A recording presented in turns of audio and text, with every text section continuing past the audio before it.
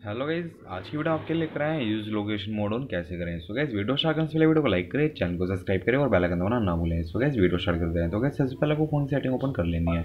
Phone की setting open करने के बाद आपको यहाँ पे नीचे आना है। नीचे लोकेशन का ऑप्शन आ रहा है, इसे ओपन कर लेना है। इसे ओपन करने के बाद आप देखते हैं यूज़ लोकेशन हमारा ऑफ़ है।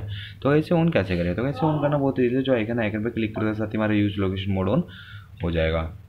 तो कैसे देख सकते हैं हमारा यूज़ लोकेशन मोड ऑन हो गया।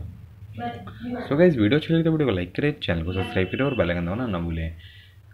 जिससे हमारी कोई भी लेटेस्ट वीडियो आप पर जल्द से जल्द आ सके, आप हमारी वीडियो देख सके और हमारे वीडियो देख के आप अपने फ़ोन की प्रॉब्लम सॉल्व कर सकें। थैंक्स फॉर वॉचिंग वीडियो मिलते हैं नेक्स्ट वीडियो में। जुड़े रहे हमारे चैनल के साथ और देखते रहे हमारी न्यू न्यू वीडियोस अपने फ़ोन के लिए। Tata bye bye